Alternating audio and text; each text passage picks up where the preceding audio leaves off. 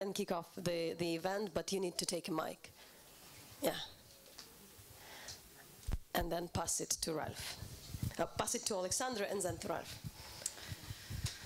Доброго дня, шановні пані та панове.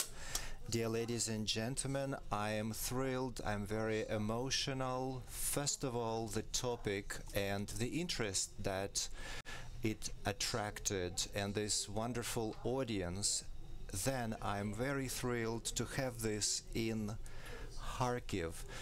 It needs a challenging discussion at this level.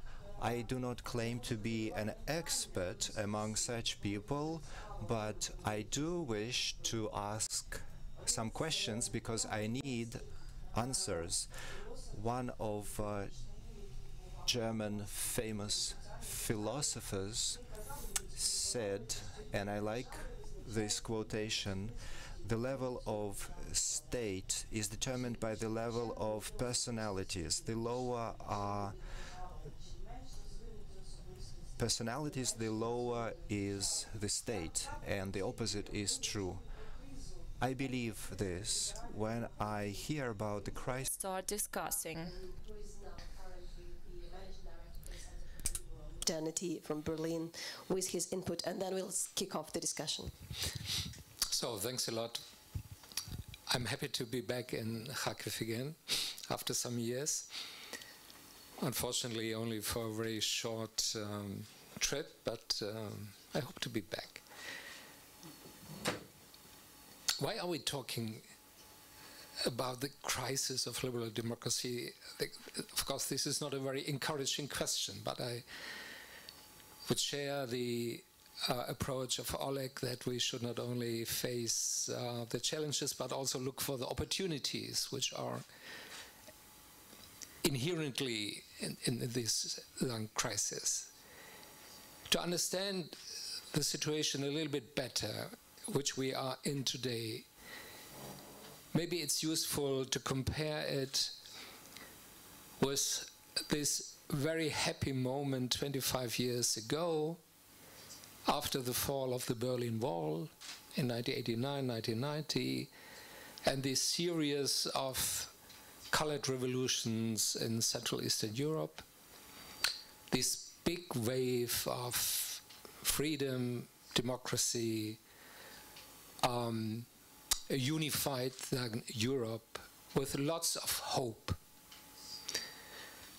This was the moment the, the American uh, intellectual Francis Fukuyama called the end of history. Of course, this didn't mean that nothing will happen no more. The sense of the, the end of history was there will be no more systemic competition. Liberal democracy has finally won.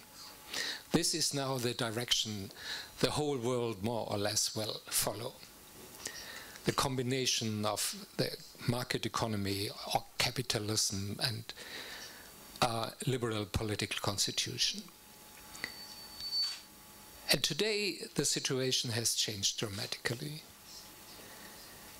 We are faced with a kind of double challenge. First, the challenge by authoritarian regimes, which are acting more and more self assertive. China, Russia, in a different way, Iran, and their followers all around the world. And the promise of these authoritarian regimes, especially China, is prosperity, progress, and stability without democracy. They don't see themselves long as uh, uh, no more longer as kind of transition countries towards uh, liberal democracy. They see themselves as adversaries, and they are challenging the model of liberal democracy. And the next, maybe even more worrying challenge comes from within, from the very core of the liberal democratic world in Europe and the United States. The wave of right wing populism, of nationalist and xenophobic and authoritarian movements in our countries. And of course, they had some, I would say, major blows for liberal democracy in the last years. It started in Europe with Brexit, the Brexit decision, which was not only a decision to leave the EU, it was much more and much deeper. It was a kind of revolt against the liberal elites by parts of the British society, especially parts of the working class and people who had the feeling to be left behind. And then, of course, the election of Donald Trump in, in the, in, the, in, in, the United States. Unbelievable. You know, the, the country which more or less invented modern democracy together with the French then Revolution in 1789. Now with a, a, a president who is openly attacking the values of liberal democracy and the liberal international order of multilateral cooperation. But also in Europe, if you're looking to Hungary and Poland, the idea of illiberal democracy is rising, which in my view is a contradiction in itself. There is no democracy without liberalism. And also in Western Europe, if you're looking to, to Italy or Austria, you know, these kind of right-wing nationalist xenophobic parties now taking then over government, but it's more or less all over the place, from Scandinavia to the Mediterranean Sea. These kind of parties, around 15 to 30 percent in the in the general elections, and there's a growing, I would say, mistrust in democratic institutions and parties, and a growing public discontent in our countries. So what has happened? What has then going wrong? I think basically, beyond a lot of political mis uh, mistakes and, and wrong decisions which had been, been made over the last 20 years, but that's normal. That belongs to every young democracy. Democracy is about trial and error. But basically, we are confronted with an era of, I would say, modernization uh, at speed. An era of accelerated and fundamental change. Economic globalization, which is about structural economic change in our countries. The digital revolution, and we are only in the beginning of this very fundamental technological innovation which will change our economies and our, our everyday life very fundamentally. Global migration, and of course, especially the refugee crisis in 2015 2016, with more than 1 million refugees from the Middle East uh, and um, Central Asia coming to, to Europe, most of them to Germany. And finally, I would add the gender revolution which is going on, the decline of the patriarchal family, uh, women's rights, uh, gender equality, uh, equal rights for homosexuals, um, and all of that, these kind of economic and cultural changes, they are creating a sense of insecurity in our societies, a sense of stress of social and cultural and economic stress. And this goes along with an increased polarization. We have a divide, especially in the Western societies, between winners and losers of this modernization process. Those who feel very comfortable and who benefit from these changes, especially well educated younger generation, young people who are speaking uh, several languages, who are internationally connected, who are highly mobile. Uh, and on the other hand, you have parts of our society who, who feel threatened by these fundamental changes.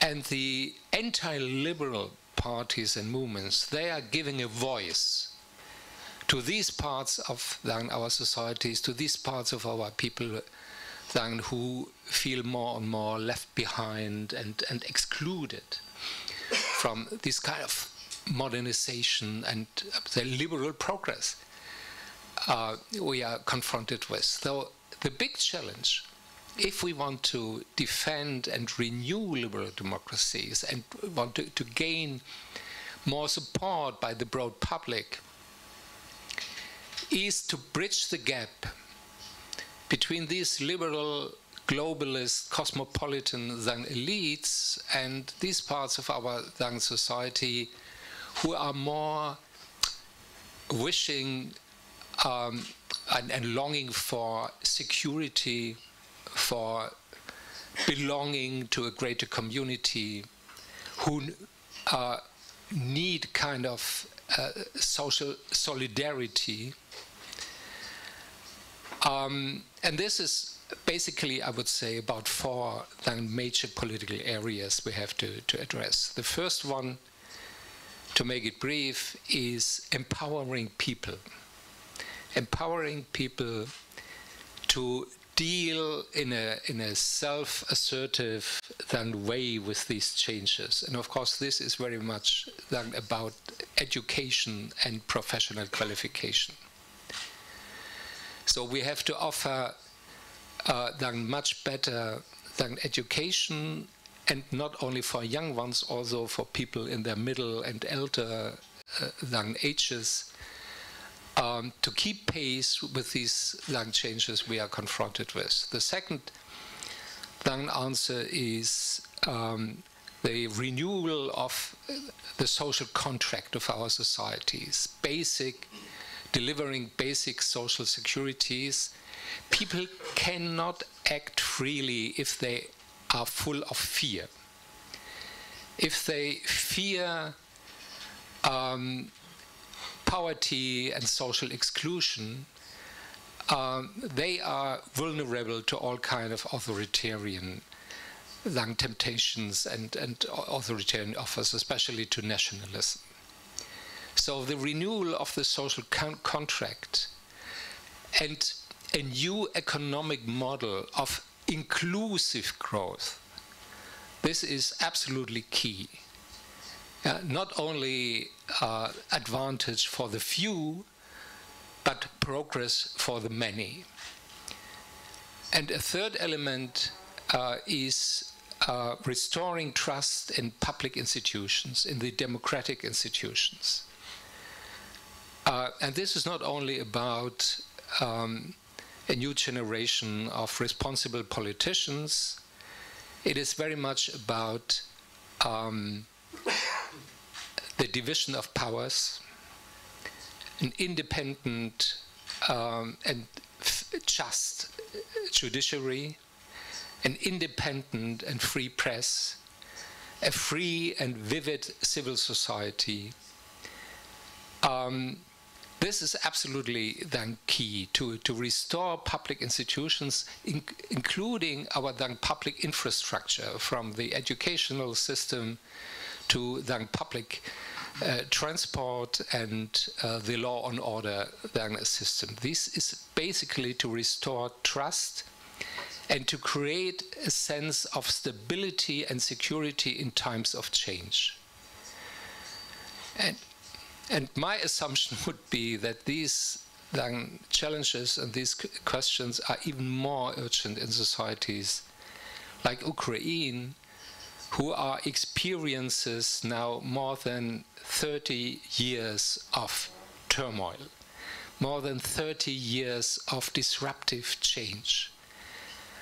Um, and I think we have to restore the, the, the trust of people in the ability of democratic institutions, of government and democratic parties that we are able to deal with these changes in a responsible way. Thanks. So, um, please, Mike, uh, Ralf, and uh.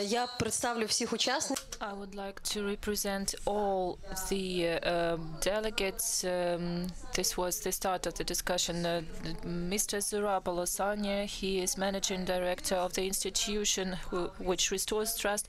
Mr. Serhiy Zhadan, uh, Ukrainian writer, and uh, citizen of Kharkiv, I think the most popular one, uh, and Mr. Sushko, Alexander Sushko, who is managing director of International Charitable uh, Renaissance Foundation, and he is expert on Euro-Atlantic relations. Uh, my name is Natalia Minyuk. Uh, I am from Hromadske Television. Uh, we are right now broadcasting this uh, event for English-speaking uh, um, viewers. And to start the discussion, I would like to to uh, mention a question uh, that we asked people. So, what the uh, publicity would like to ask uh, the delegates here. Um, the great um, amount of this question was about the disappointment. So when people are disappointed, maybe it is better to um, uh, to move within the authoritarian way. Uh, maybe the uh, security is not possible uh, with the freedom of speech. So these were the questions uh, that the Ukrainians wanted to ask you.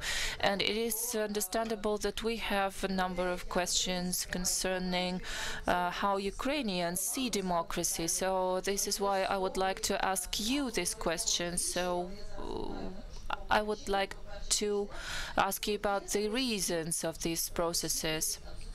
Uh, there are some social researchers, uh, Steven Levitsky, Lucan Way, who um, already uh, um, got the formula of uh, authoritarian totalitarianism, and uh, Ukraine was the um, uh, example of it. when countries um, compete with one another, and when one uh, country wins, it uh, acts like an authoritarian country.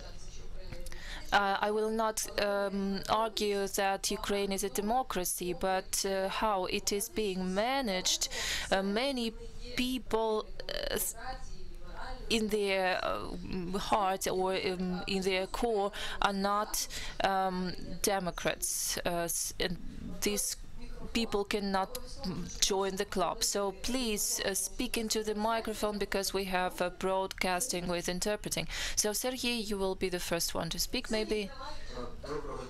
Good afternoon, dear friends. Um, I am not an expert on democracy. This is why I will be. Uh, I, I will speak metaphorically. I've been thinking how democracy is being seen in Ukraine, how uh, principles uh, of liberal democracy are being seen in Ukraine. I think that generally speaking, for Ukrainians, for our politicians and for our authorities who come and go, these notions, liberal democracy, or liberal values or demo democratic values are something um, something uh, written on icons in the office of some kind of gangster. So uh, you better not touch these things. Uh, let them uh, hang on the walls and um, protect us. Uh, it is very comfortable to uh, use it as masks. It, the people who we call democratic politicians or non-democratic politicians, because uh, but but they can argue with us uh, mm, because it is very uh, vague in Ukrainian political sphere. Who can really be called dem dem Democrat in Ukrainian poli policy? Uh, it is rhetorical question, maybe. So it is uh, very difficult to speak about it analytically. We are going to have presidential elections uh, the candidates are going to speak about the uh, uh, programs, and we can hear any kind of things. We can hear things about army, about language, about church. So this is the three main topics that are actual at the moment. But uh, you are not going to hear anything about liberal democracy because nobody actually is aware about it. You can speak about uh, the church because it is clear. So and you can earn something on that. Some uh, some. Um, voices or some votes.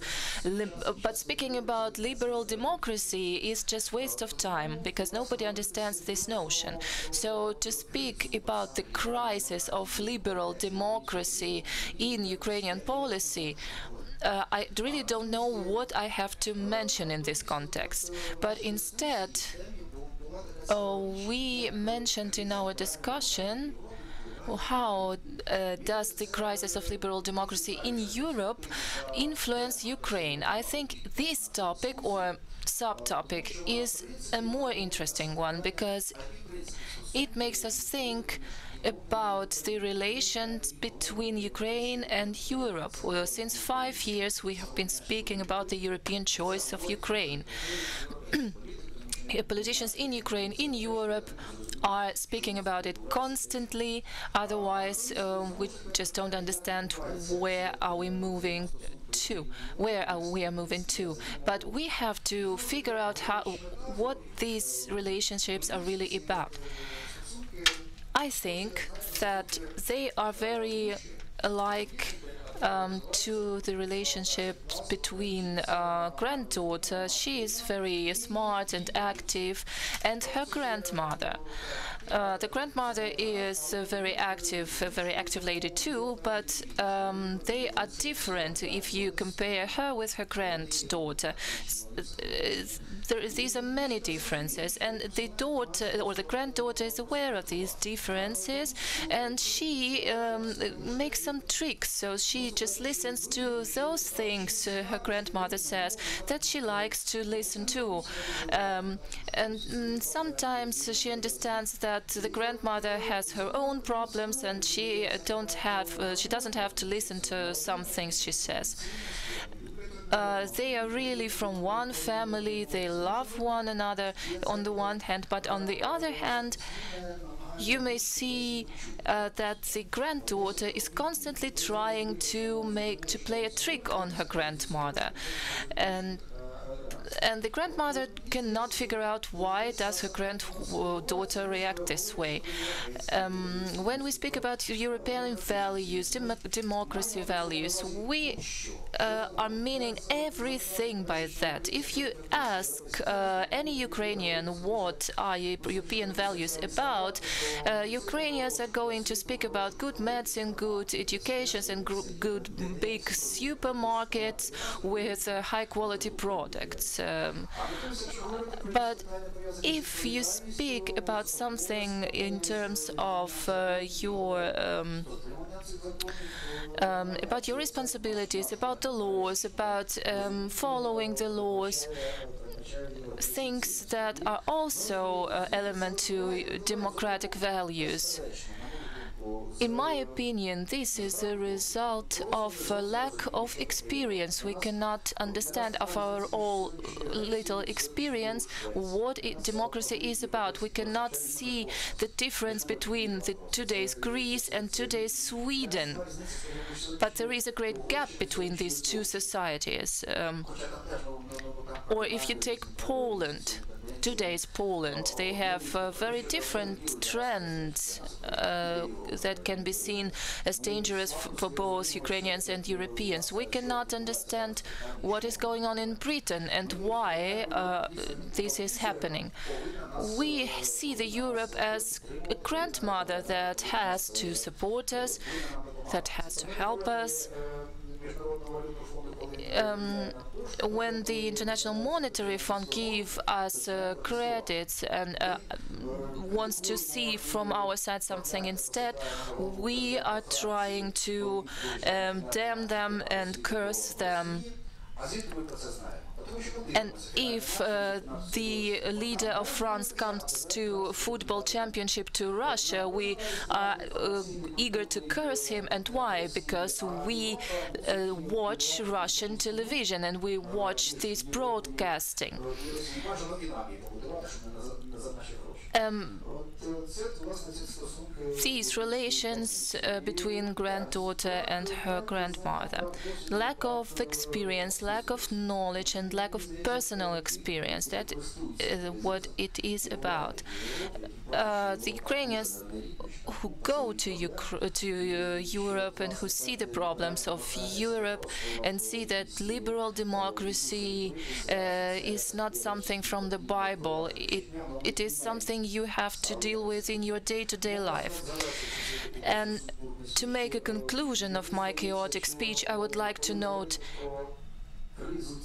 when we speak about the values crisis, I agree with previous speaker Tatiana. I think the values crisis is present both in Ukraine and in Europe, but the range and nature of the crisis is different in both um, places because Europe and Ukraine um, taken separately remind me of two marathon runners. Uh, the one is on the third, so you, you, Europe is on the 30th kil kilometer of the road, and we are on this third kilometer. Uh, we have another range of crisis, and we have to be aware of it. Uh, Natalia um, speaks of Ukraine as a democratic country, and the choice uh, of uh, Europe for Ukraine is not something abstract, but uh, we really have a different understanding of many things. It is obvious for me. What does it mean? It means that we have to communicate more. Zurab, I will add, it will be the same question, but uh, I will ask the Ukrainian society sees itself differently now. We are not so much about democracy as about well-being. So all this, you know, election and when we were speaking about European values, we meant well-being. Yes, I agree. So to answer your first question, as a journalist, I must be cynical.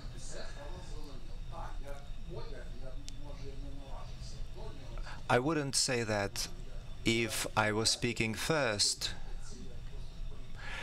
Democracy for our politicians is just uh, like clothes. We can change clothes just like uh, you know safety belt in the car people don't wear it or when they wear it they're not sure it will work. As for the crisis you know i am not a young person and what i have seen in the last 15 years i won't say that it's failure and defeat, but I can say that the world has been changing extremely fast. Just like Ralf said, we experience development. We can be co-authors with the West, with Europe, co-authors of the future. That system which will be less illusional uh, that will take into account the mistakes of the past. It may not be simple. Perhaps some values will have to be defended. Perhaps a new edition of the known values will appear. It's important that turbulence doesn't get too high. This is where the risk is higher but at the same time it is a chance for new historical creativity. And it's better than just following the existing mo model. And Ukraine is a part of this historic process. This is where I see an opportunity to get out of this crisis, we will have to spend a lot of energy for something that we thought was solved.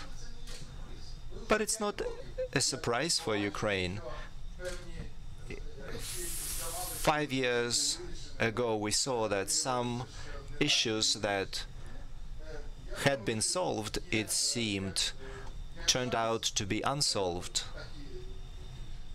So it is a new chance with higher risks, and we must be aware that planning the future may take us not where we would like to go. So we need to see the way before us, but we should understand that there's no guarantee that the final destination may not be what we want it to be now. Doesn't mean that we shouldn't plan our future, otherwise, other people will plan it for us to Ralf because uh, still there is a need of the role models. Uh, it's not just about the West. So I'm curious. You made your input, but uh, when you look at the, you know, after like all the elections you've mentioned, you know, you felt that the liberal kind of opposition or whatever you name the Democratic Party in in the U.S. or anybody else were kind of mourning. It's already a couple of years when they are complaining, complaining, and complaining, and uh, we are looking and three years are almost like three years after Brexit, you don't see kind of new ideas. You go to the States, you still see very few new ideas. So maybe we just don't see them. When you look around Europe, do you see these ways to connection, to connect rural and urban, to, to empower uh, beyond this uh, as this kind of the uh, intellectuals discussions we have now, but like real and which are maybe on the regional or local level are working?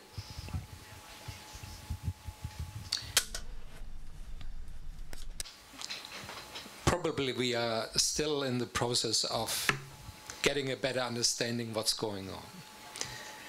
But I would agree that um, it, it's, it's urgent that we come out from mourning and uh, just deliberation uh, to political action.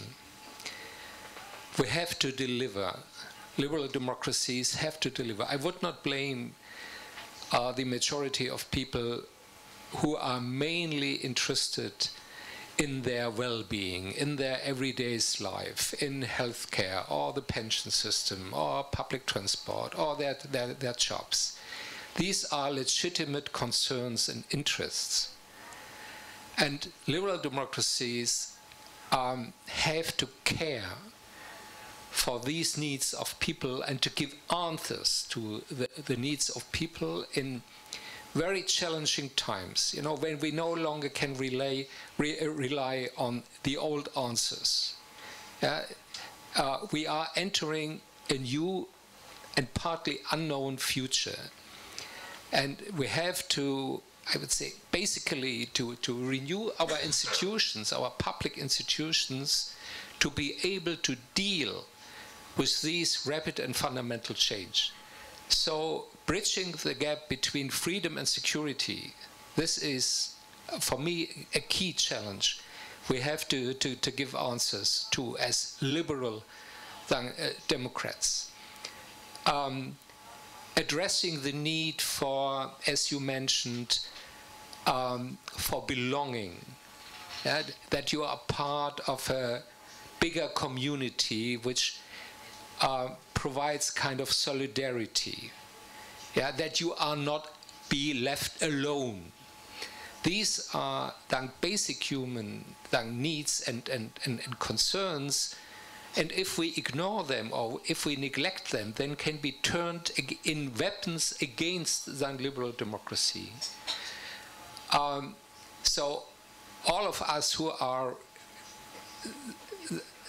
concerned about the, the future of liberal democracy, of individual freedom, of minority rights, uh, of political pluralism, um, then we, we have to address these social concerns in a, in a very serious way.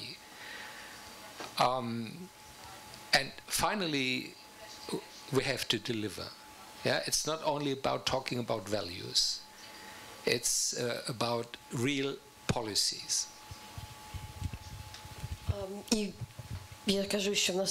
And I uh, hope I'm sure that we are going to have very particular questions about uh, solutions, but uh, I would like to ask Sergei and Zurab. I really got a list of questions I would like or people would like to ask you. People uh, would like to ask you how to overcome the trend of uh, um, right movements in Ukraine, uh, how to protect human rights in Ukraine. In the Ukrainian discourse of civil society, uh, from uh, from human rights activists, they mention uh, words like uh, left or right.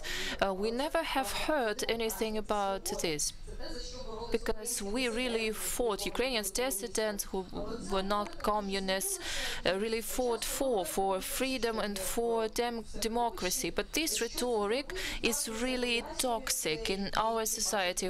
How can we deal about it and how can you explain uh, this fact? Is it really a risk? Um, and even the intellectuals um, ask who is left and who is right instead of uh, speaking of uh, real things and living in, within this discourse. I disagree with you that it uh, only emerged today and uh, it was not present before the war. Uh, there was uh, this opposition between left, the lefts and the rights. Uh, but I think this was the extreme situation. It is extreme situation right now as well, but uh, the focus of uh, public attention is so deformed due to mass media, by the way. These uh, various marginal actions um, are being uh, spoken about and uh, focused on. But these things existed before the wars, and I think that both parties, uh, the, the links and the rights, uh, the lefts and the rights, they like it. It is a kind of game, but today this game is not being adequate. Uh, from moral point of view because um, you may speak about real life or real death and playing this game and um, asking one another competing with one another who is a better patriot of Ukraine is not that fair. But you also may see that uh, those who play these games are actually the same people who used to play it before the war. So this is my opinion. Uh, Zurab, do you agree? Well, mm, your television or your broadcasting company has uh, its principles, but when we follow the discussion uh, three years ago and uh, this year, we can hear more and more of accusation that uh, the mass media have shown us this or they have shown us that. I think this focus of attention has shifted a little bit, and we did not um, pay attention on it. I will use the metaphor of Sergei about uh, granddaughter and grandmother. The granddaughter is naturally interested where uh, what she has to do. Not uh, she's not particularly interested in uh, grandmother's businesses.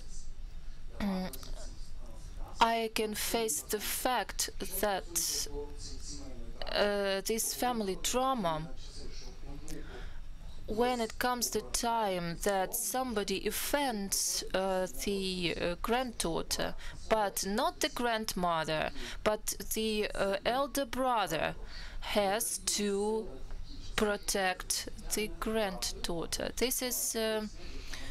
Um the way to explain how I see this.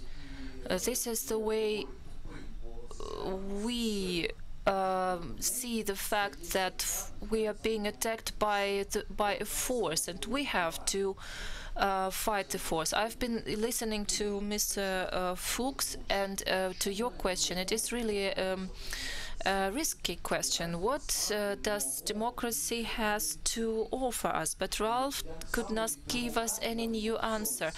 Um, similarly to the democracy all over the world. Democracy is only looking for these answers, but democracy has not found these answers.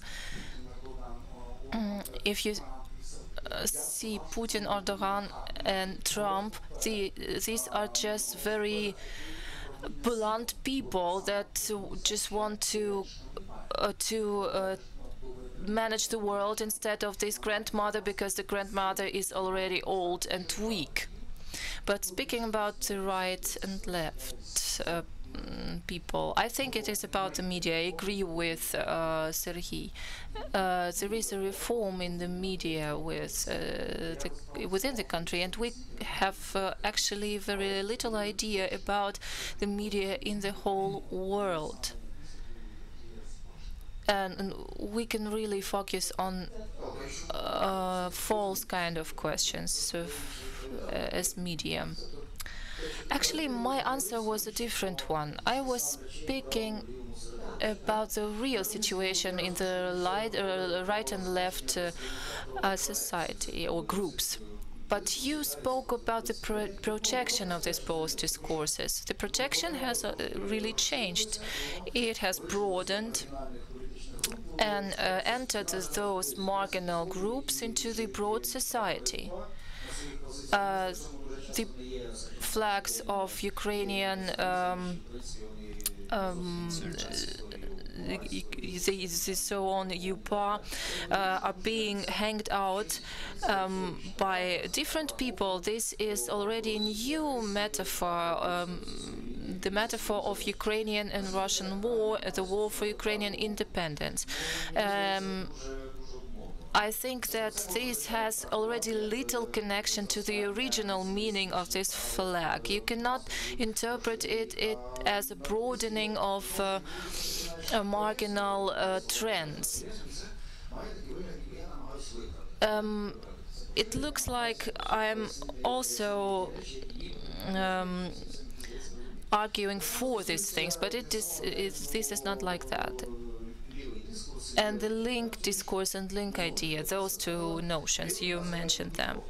You may call link anybody you don't like or left you, anybody you don't like. This is a very uh, good way to hurt uh, somebody. People cannot protect against this. If you are being called uh, left, you just feel wrong and you may be called left person on and on again. But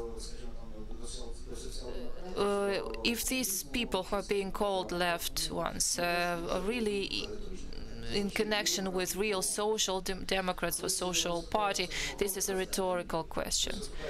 Uh, you may call anybody left. Uh, if you are pro-president, you are left, or contra-president, you are left.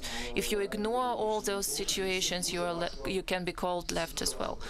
Um, this is populism, and this is uh, something that can be very uh, that, that, can be fought very difficultly, and this is a manipulative trick, and you can fight manipulation using a uh, fair approach if you try to speak with your with your counterpart using fair uh, arguments, he or she manipulates on and on. I would ask you, Alexander, to also reflect on that. Your Renaissance Fund is well known, and it's surprising that there is new rhetoric against George Soros. So, the values of open society, what do you think about it? And what do you think about delivering solutions? Your fund and you personally have worked with reforms and reformers, young reformers, a lot. Do you see that they are capable of some real action? Can you make this public policy? Because democracy is not just nice words. People need roads. You have to make roads. You have to provide. You have to deliver something tangible. So it's it's true that people don't believe that new politicians don't have teams or their teams are not capable of practical solutions. They have ideology but don't, don't have skills to do something practical. As for branding and manipulative accusations, yes, we are used to that. We were called the the world government, shadow government. Our Renaissance Fund have read so many things about Soros. But neo-Marxist is a new term which is used in Ukraine now. It's a new meme. What does it have to do with us? But, you know, some people, some read about some neo-Marxists, and now they are talking about this, that there's no liberal democracy, it's an illusion, but these people are neo-Marxists. And that the Western society was devised by neo-Marxists, by these cunning enemies. So this is the conspiracy uh, theory world and it's fed by new ideas and memes but it's evident that we need to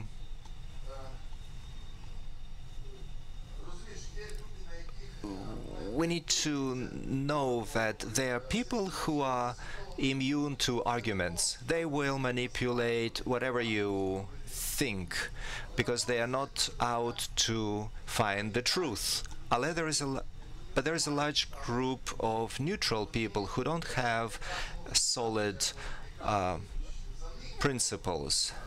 These people should be won over. These people can become victims of uh, informational manipulations. These people may believe these stories and interpretations. That's why public communication is important. That's why our fund is open to such uh, meetings and open discussions. Uh, Natalka asked a question and uh, Serhiy and Zurab answered this question. On the one hand, I cannot support what you said that the situation is the same as it used to be in the whole world as in Ukraine, there is a tendency of the right flank growing. No, I would say both flanks are getting stronger. I wouldn't say that the ultra-right sentiments are growing. I would determine, I would define it in a different way, that the middle, the center is shrinking.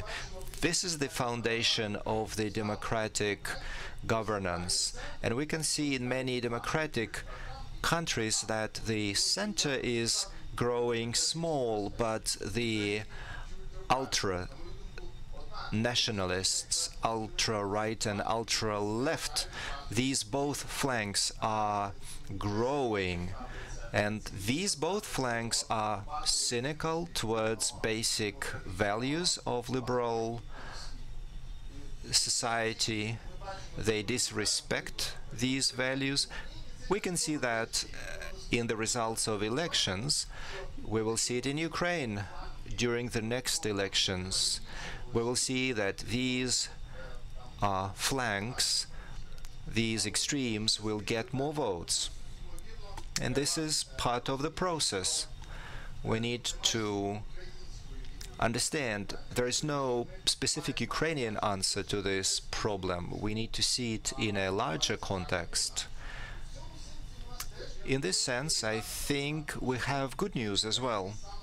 In Ukraine, from the very beginning, we did not allow some extremes. For example, the factor of national identity. Uh, in the West, many people regret it. That's why Orban and his philosophy, these are the challenges, because those people say that Europe neglects uh, nationality, but our Renaissance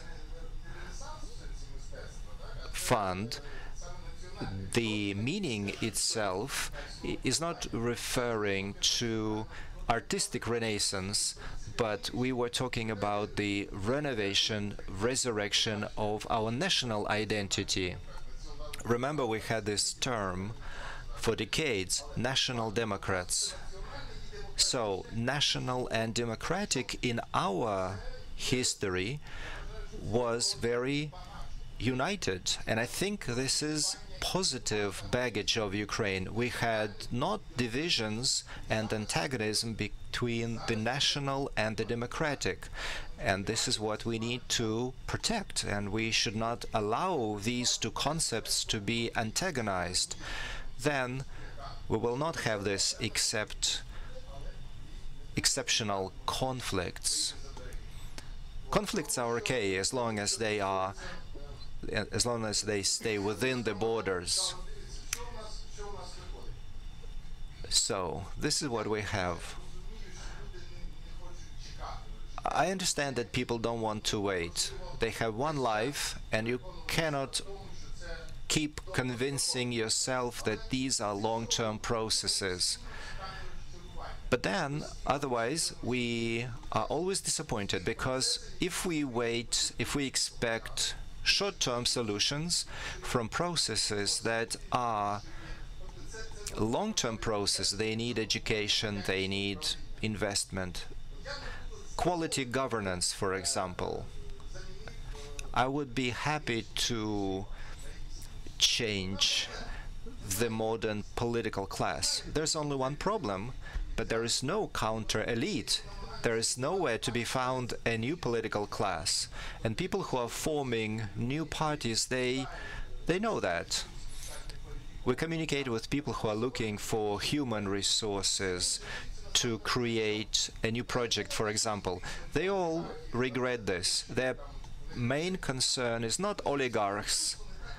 Their main concern is there isn't enough human resources quality people who would create that critical mass for change.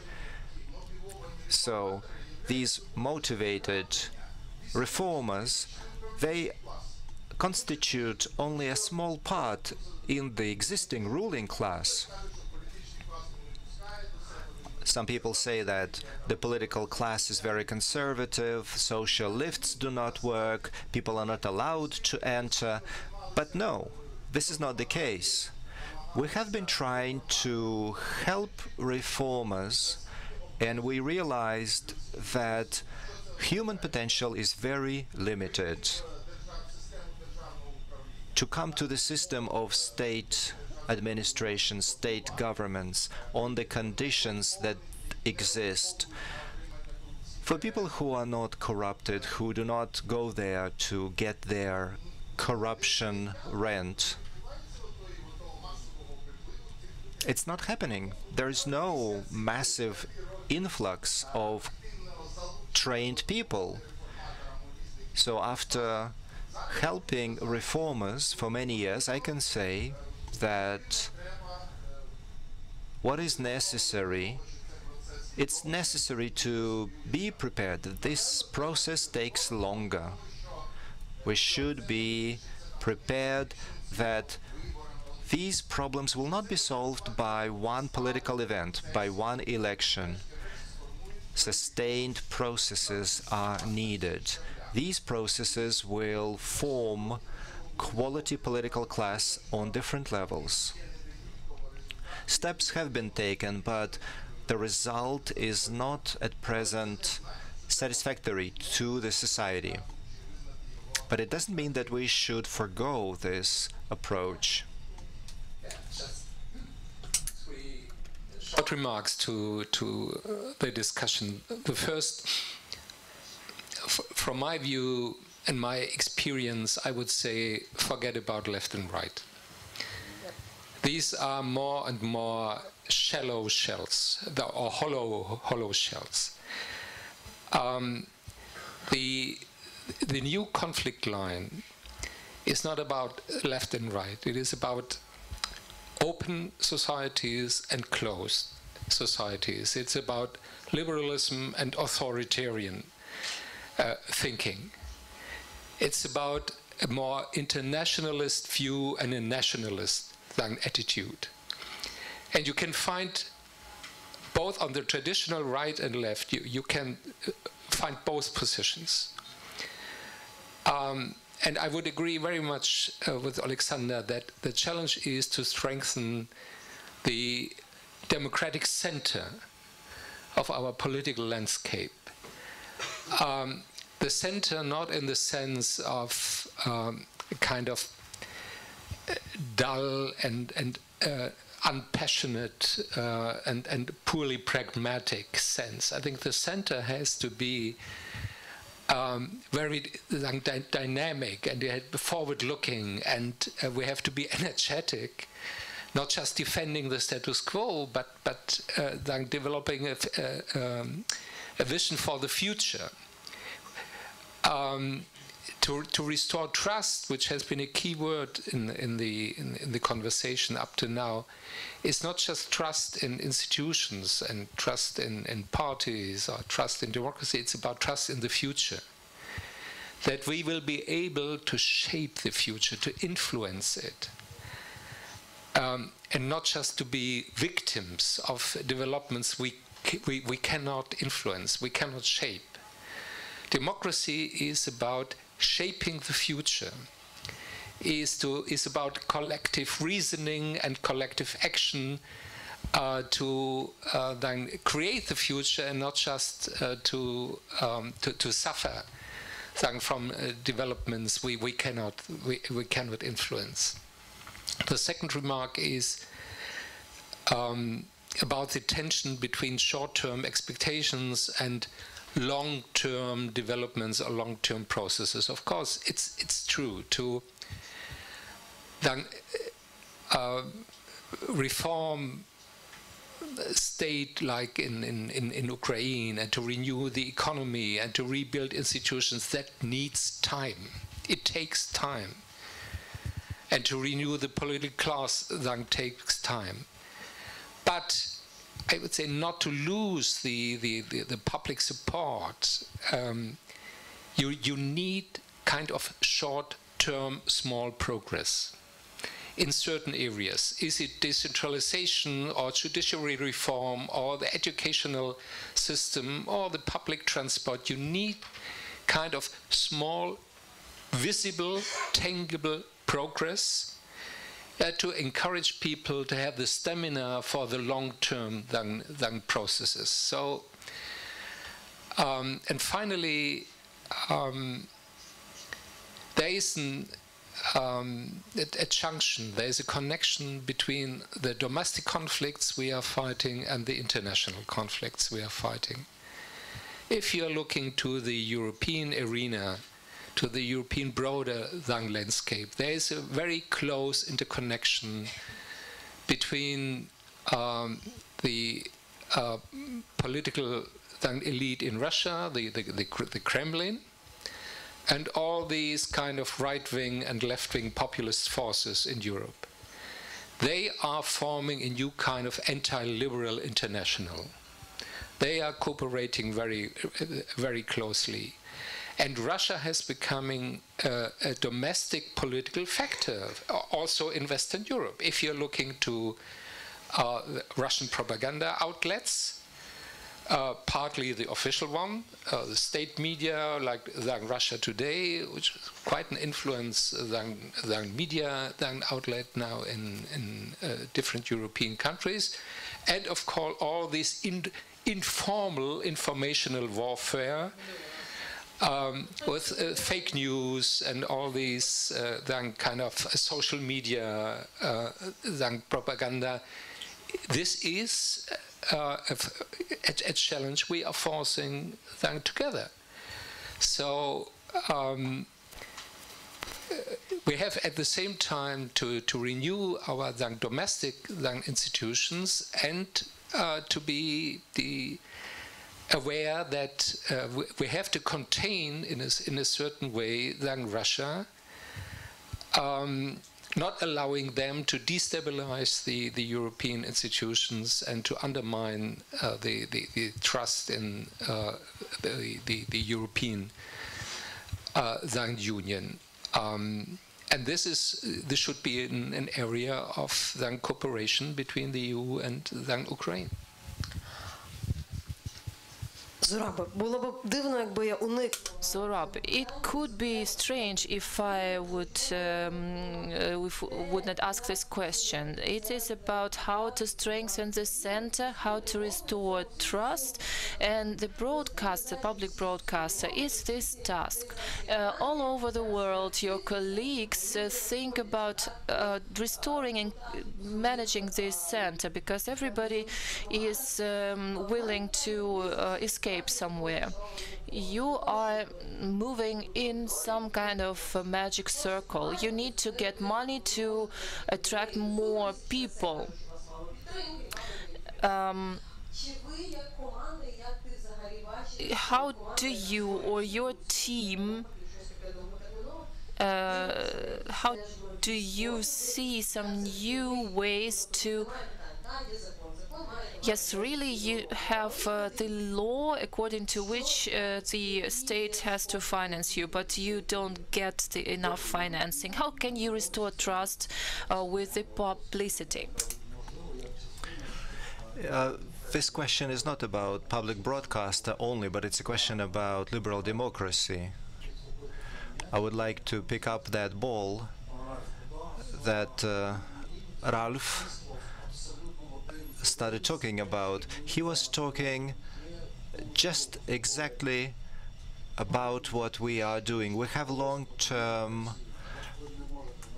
plans. You cannot you cannot give birth to a child sooner than it was determined by nature in society it's the same way. Sometimes it takes generations to change things. Ukraine in this very short time, three, four years, has covered so much ground. You know, people don't have enough patience for everything. This is what public broadcaster is doing now. I was looking for answers myself. That's why when Ralf was talking, I was expecting him to say what are the new things, new solutions that democracy can provide. So, yes, I agree, we need to show some short-term effects we have our own jargon, we call this flashlights, that we need to show our audience. And we understand that these are not fundamental processes. It's, but we need to show something for our audience. We understand that the real changes are happening deep beneath and they are not seen to the general public. So we are doing this, both processes. Natalka, there are no other ways. You know, local journalists told me that if I move to Kiev, it will take me a long time to build my own networks of connections.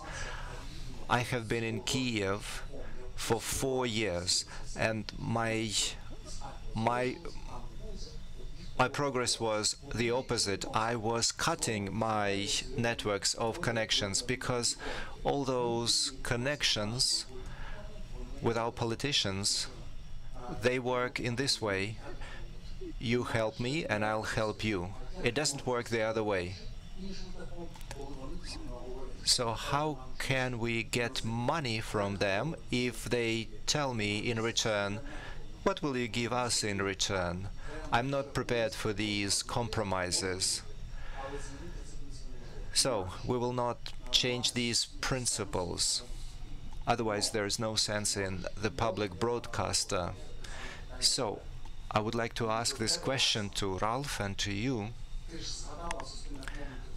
You talked about public broadcasters in other countries, and they have questions.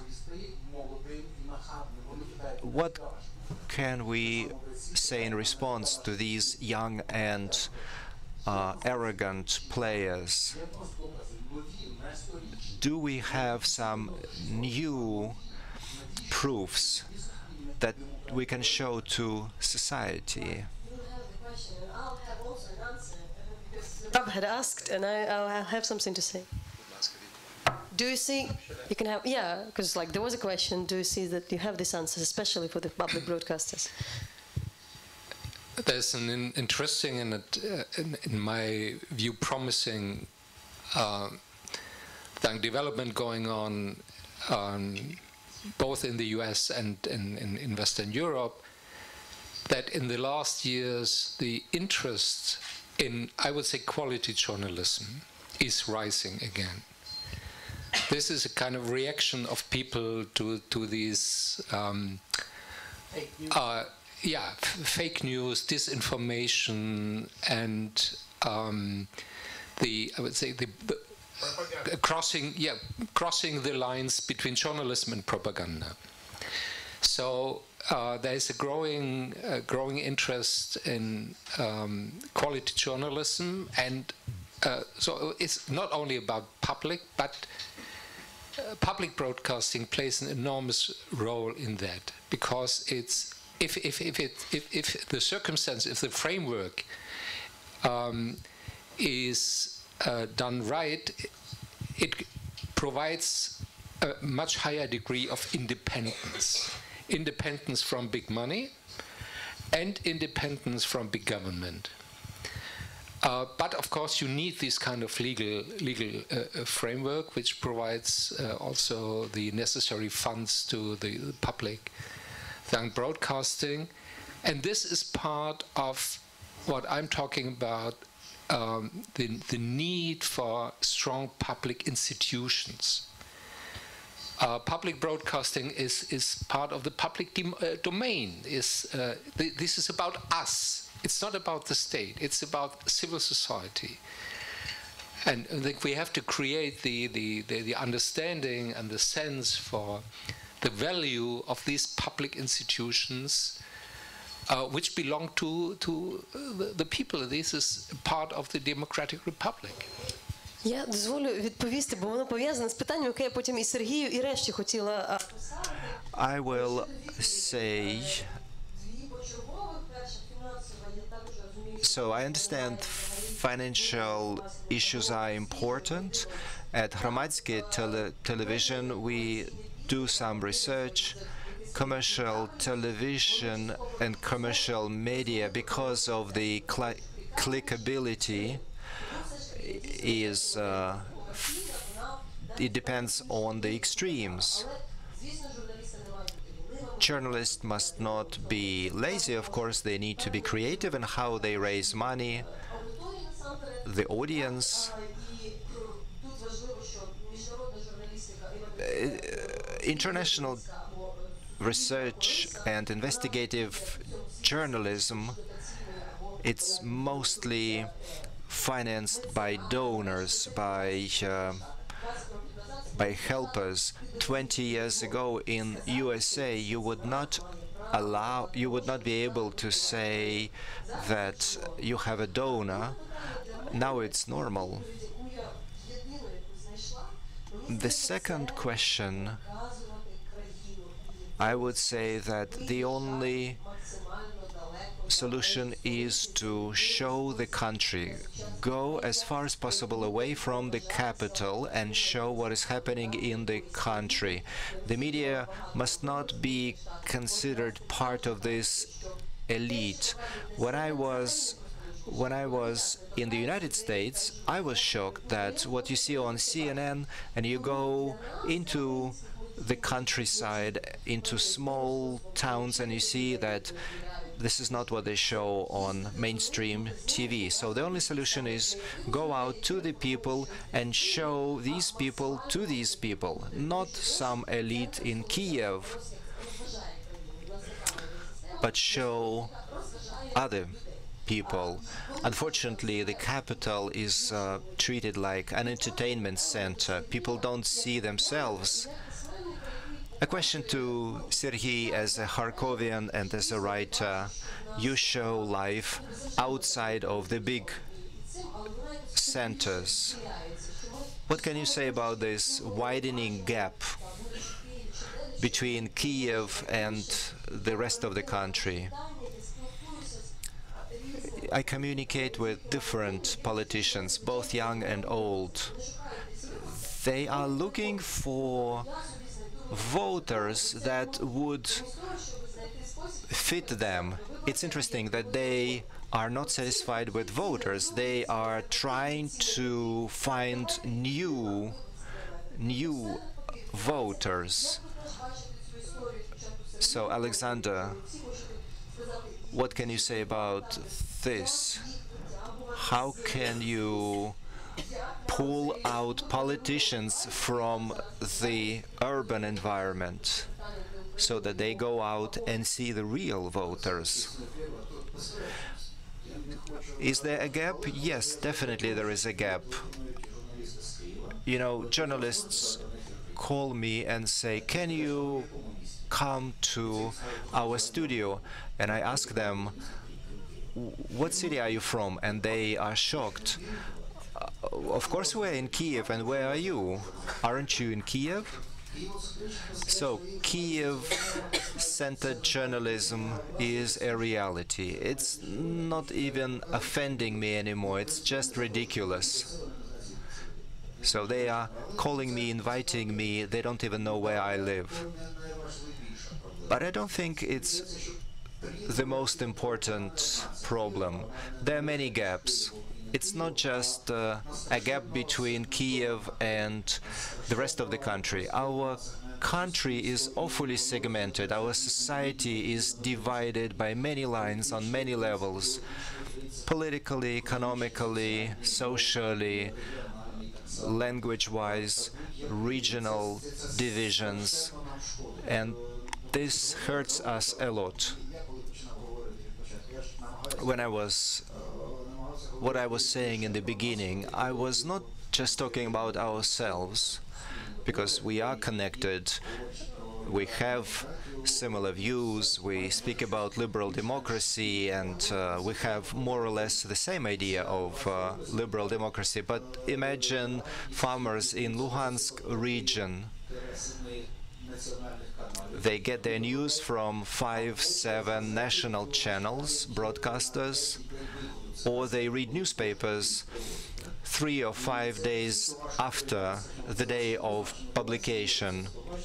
You know, we have these gadgets, we can follow the news in real time. So these are different levels of perception and different models of existence in society.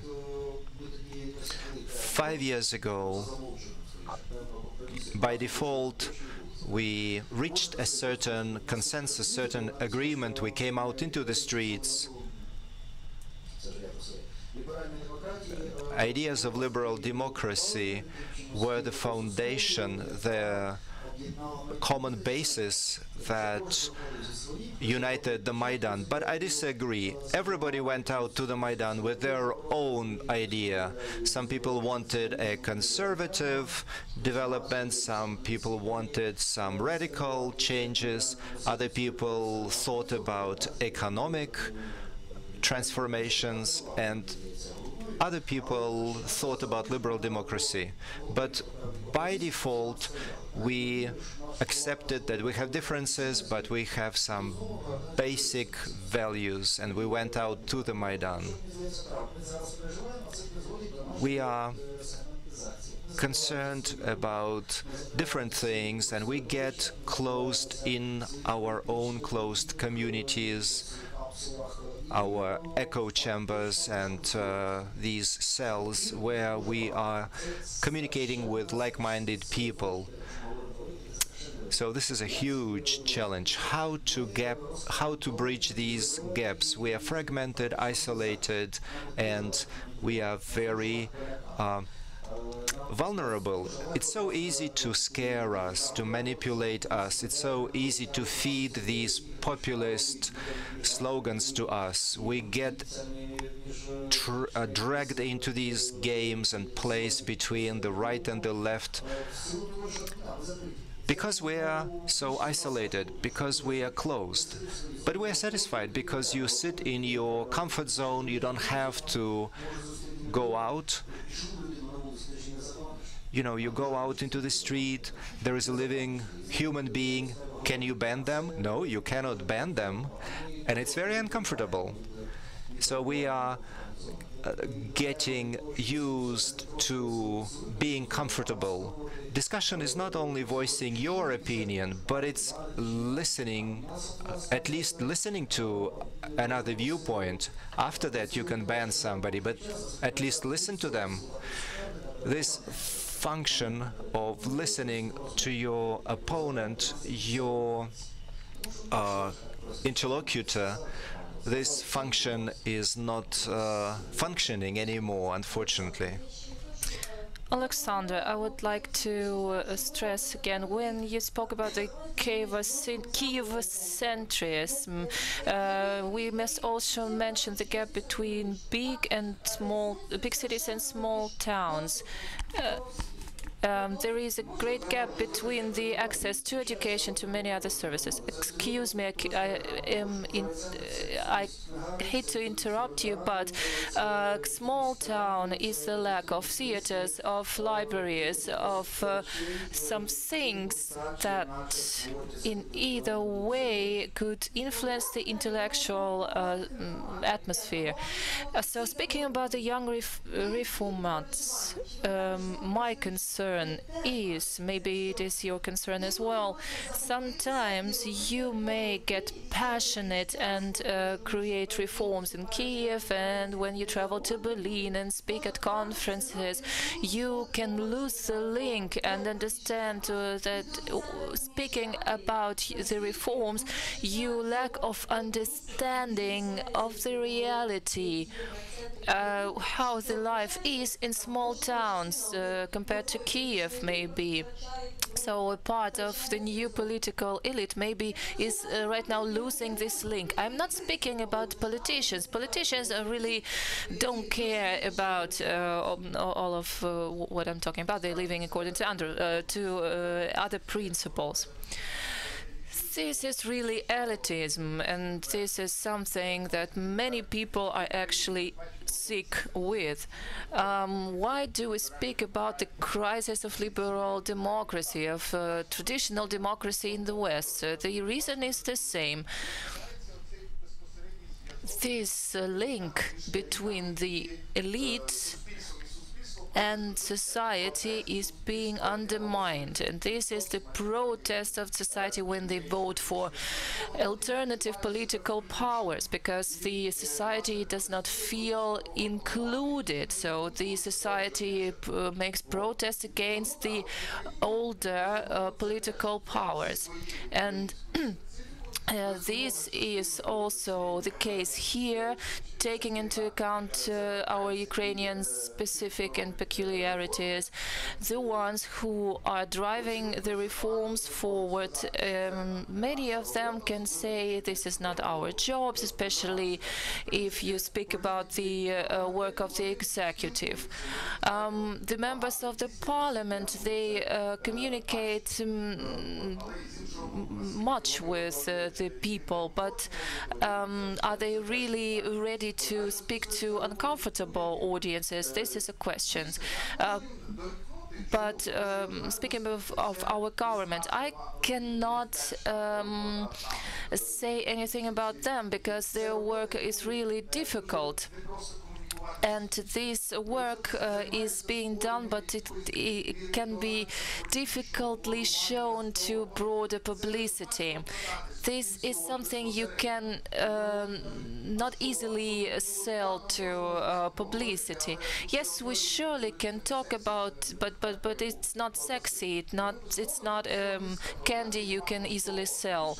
Um, there is no easy answer. It is obvious that um, a part of the government has to deal with some kind of promotion, but um, some kind of um, right step, step in right direction is the decentralization process. It is really um, here to overcome this gap, and this is the inclusion mechanism. But the decentralization is also not a perfect mechanism. We lack of high qualified people who could um, not undermine this process from the very beginning. So there is no easy remedy. It is obvious that even making the right steps, uh, the government cannot easily sell these uh, steps to uh, the society, but it doesn't mean that the government shall not try selling them to the society. Uh, but uh, if we look at our two days government, we may see that it can communicate some elements of its policy better than the previous governments. But this resource is not um, is not renewable, and we may experience some kind of fatigue everybody feels the fatigue from the two days configuration of political power. It cannot last forever. It is obvious democracy is so um, foresees some rotation.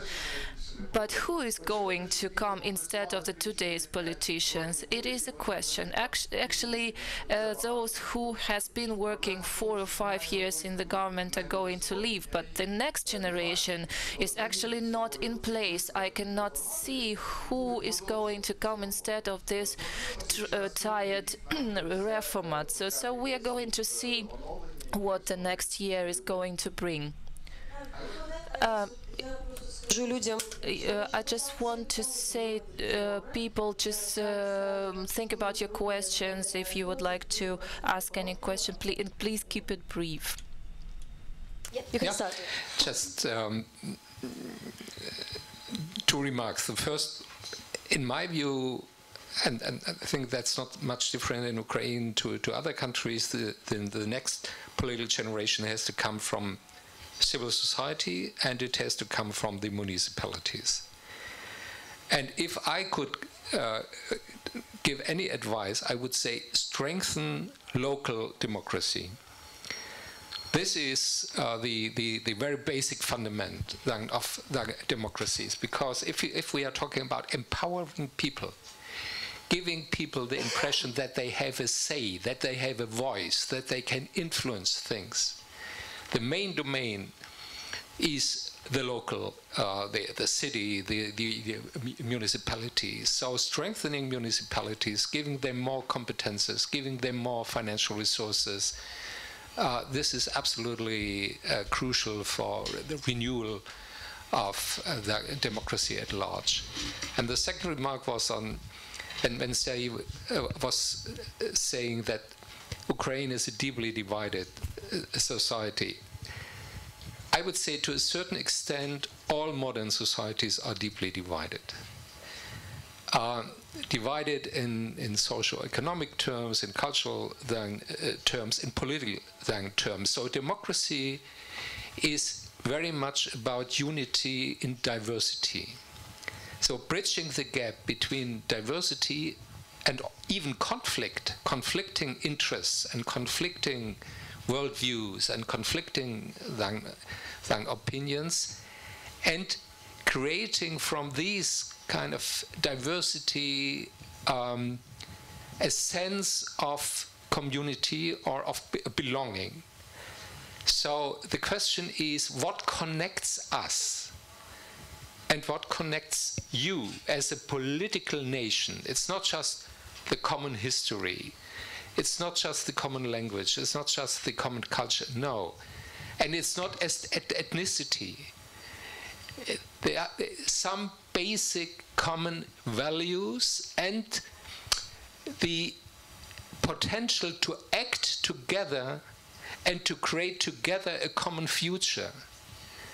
I think this is constituting a kind of democratic nation, uh, uh, uh, a, nation which is not just um, destiny. No, it is about acting together. And so the, the, the whole debate is uh, about do we find common values? Do we, do, do we find some common goals for the, uh, the future? Uh, which Ukraine do we want to have in 10 years or 20 years from, from now? And are we able to develop common institutions which bind us together? Common institutions from the parliament and uh, then uh, democratic government to uh, public education, public broadcasting, public transport. These are the elements creating belonging of the different. Я б хотів проілюструвати. I would like to illustrate uh, the things that were already mentioned about common in, uh, about common institutions and the trust. So the illustration will be like that. Uh, the um, election committee, Central Election Committee, has announced it was the first time in Ukrainian history. Um, they announced the election of uh, the new managing director of the Central Election Committee. So the uh, amalgamated territory communities are emerging, and this is the unique um, moment in the history of Ukraine. the National Council on Broadcasting addressed me with a with a question. Can we spread uh, small uh, radio transmitters among the uh, members of some communities? Um, why shall you need it?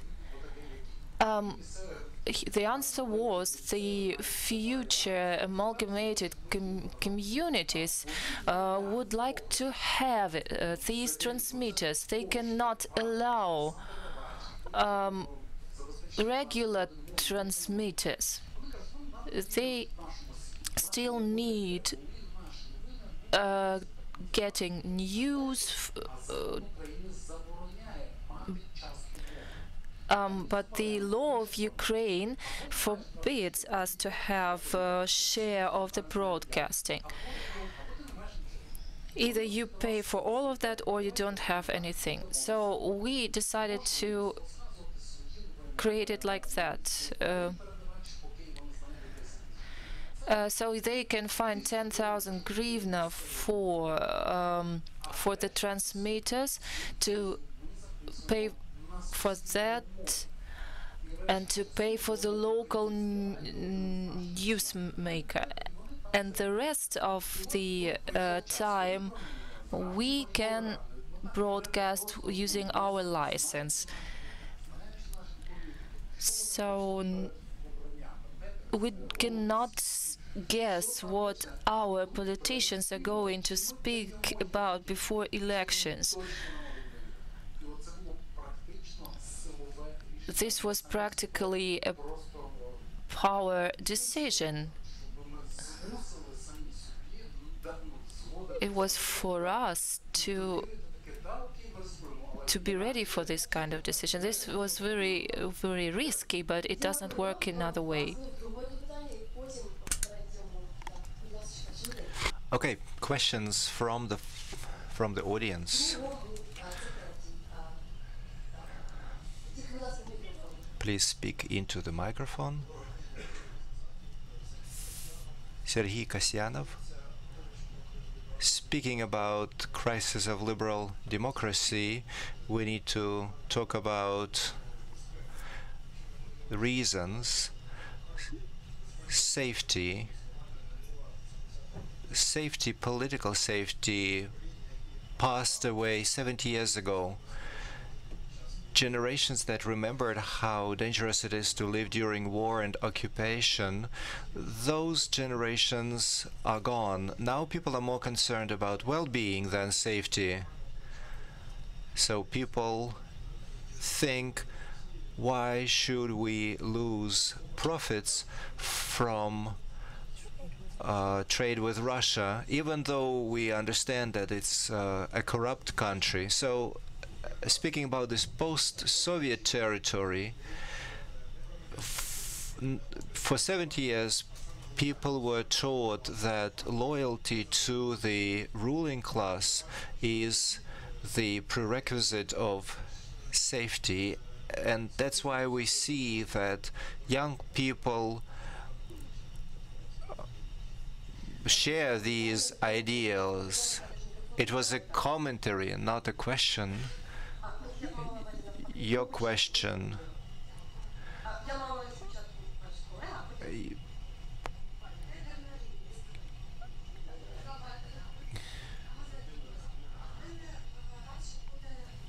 My, I have, it's not a question, but maybe I have an answer. You your thesis was wonderful. You said why liberal democracy doesn't work in Ukraine. Ukraine is a collider where everything is mixed, and what we have at the output is unpredictable.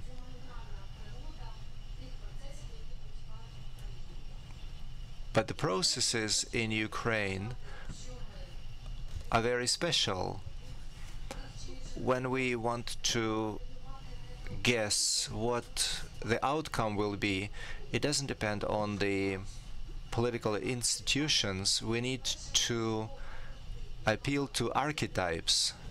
We need to do archetypical analysis.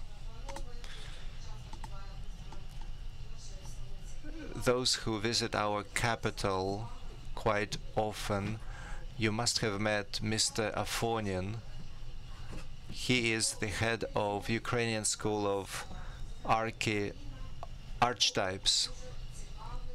So he made a positive forecast for Ukraine. He said that creative people will lead Ukraine out of the crisis. It was not a question either, it was a comment.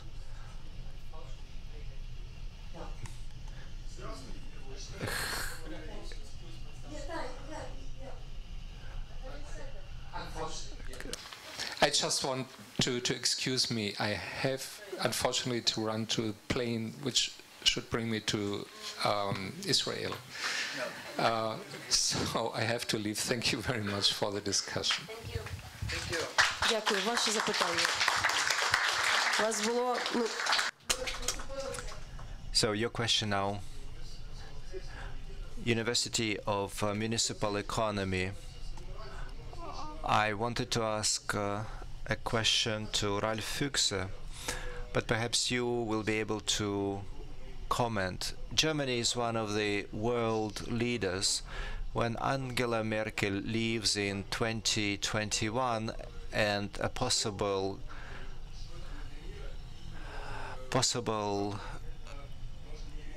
entrance into power of alternative for Germany, what will happen to Germany and to the world? Alexander, I think, will be able to answer this question. Let's see. It's very good that each great politician has a beginning and an end. Angela Merkel cannot complain that her career is short. She is perhaps one of the longest ruling politicians in Western countries, so this is normal. And those systems are not so much personified. Stability does not depend on one personality, but there is a different challenge. You mentioned one of the radical parties, alternative for Germany, but on the other, on the other side, there is a radical left-wing party. But this is what I was talking. We need we need the center, while the flanks, the extremes, they use people's fears. My forecast for Germany is that in the short-term perspective, these extreme parties will not come to power in Germany. Although there are some processes, changes of configuration happening in the political center, we can see that Green Party is strengthening its position. We saw it at the recent elections. So there's some potential to regroup the political center in Germany. AFD, now they have a good result. In a few years, maybe they will improve their result, but nobody can say. But even if they take more percentage, other parties will not unite with them. The chances that they will be the basis for a coalition are very small, and it's impossible that they will form the government themselves. So, the challenge I see is a long-term challenge of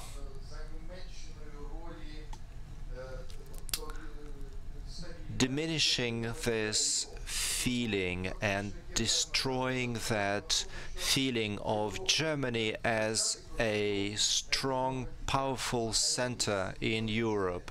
The fear that if Germany loses that status and function as a solidifying center of Europe, who will replace it and what will happen to Europe?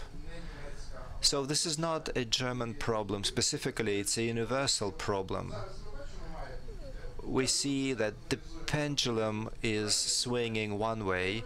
We are we are discussing this crisis of liberal democracy, but what will be the limit? What will be the stopping point of this tendency? We don't see it now. We don't.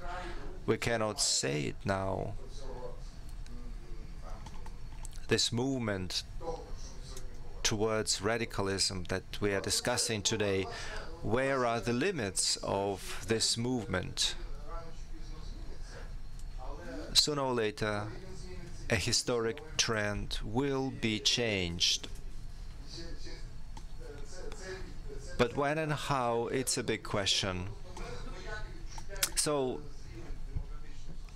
I have mixed feelings about uh, experienced uh, democratic societies. They have immunity, they have some stability. Even when populists win or when the flanks are increasing its influence, we live in a post-information era and there are more tools now to destabilize the situation. Western mainstream politicians, they made a mistake because there was a belief that the more information you have, the better. At present, we can see that factors that are working in the opposite direction are also effective. So we see that the number of participants in the information field is not always positive. We don't know where these participants in the information field will lead people. So the problem is in the institutions. It seems there is a strong immunity, but how will it be able to adapt to new challenges? How it will be able to change this trend? And I hope the last question. So, Madam, you've got the microphone. Please, go ahead. My name is Maria Avdeeva.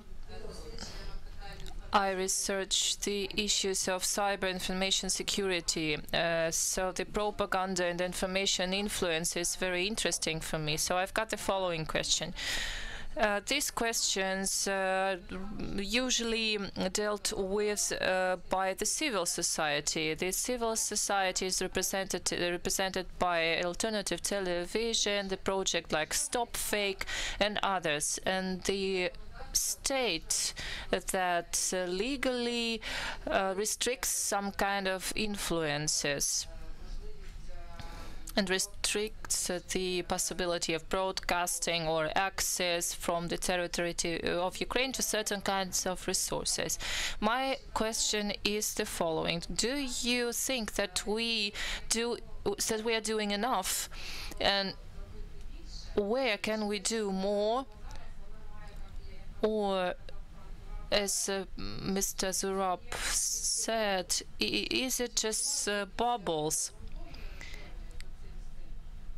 Can we achieve something more, something more profound by our action? And another question.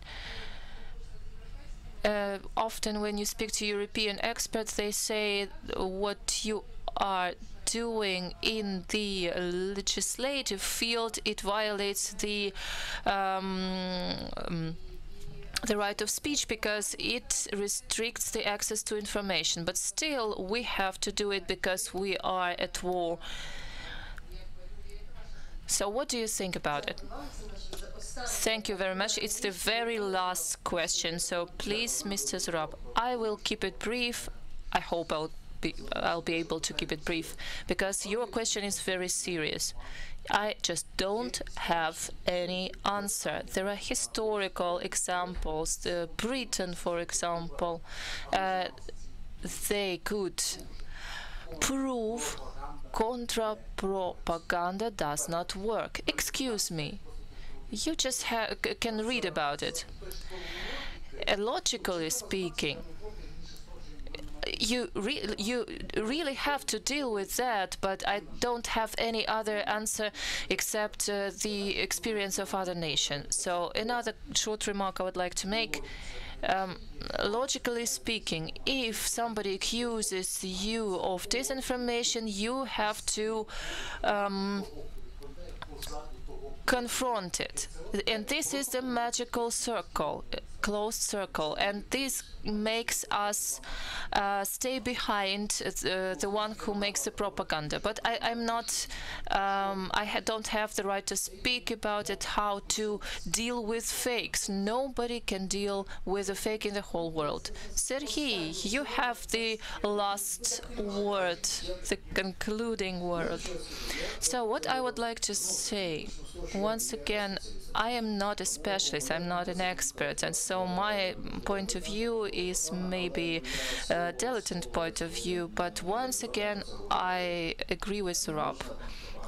Contra propaganda cannot uh, achieve anything. Somebody in Ukraine, somebody from Ukrainian uh, politics, from civil society and media, think that uh, we have to create Ukrainian fakes to fight uh, Russian fakes. But you cannot make um, bigger lies than Russians make. We don't have to do it. We don't have to invent things that do not exist. I keep saying what I've been saying for five years. We have to uh, say the truth fully. And um, if we don't tell the 100% truth, it is a benefit for the Russia. We try to persuade ourselves of something, and this is the problem, and not the fact that this is a benefit for the Kremlin. It's actually all the same. They have the problems, but we have to deal with other problems. We have uh, to be honest and to be ready to say the truth. If we have problems, we have to speak about the problems. It is not a problem uh, to speak about it. The fear to acknowledge your problem is uh, a challenge. We have uh, very many people who are nice and and uh, pro-Ukrainian, but they um, have the fear to speak the truth. And um, when I speak about it, um, I am called a left-oriented person. I would like to add, yeah, we spoke about um, the war. Um, it is a patriotic way to say the truth. Yes, but uh, you just try speaking about it in social media, you will get so much critics. W- this is the left, uh, the, le- uh, the, the left point of view. Another thing you have uh, spoken about is the ban of certain things. Uh, we also have to be honest about it, not from the point of view of emotion, it's a populism. Um, Ukraine restricts uh, the Russian context. It's very right, and it, this has no nothing uh, to do with the censorship. Uh, to um, not to ban uh, artists who perform uh, on the occupied Crimea. It's right. It's the matter of national security. Uh, the information weapons is uh, part of Russian aggression. Uh, Sergei already mentioned we cannot say more lies than Russian can. Russians can. Alexander Sushko, Executive Director of uh, International Renaissance Fund, Zurab Alasania, Director of Public Television, Serhiy Zhadan, writer, and our wonderful moderator, Natalia Humenyuk. Thank you.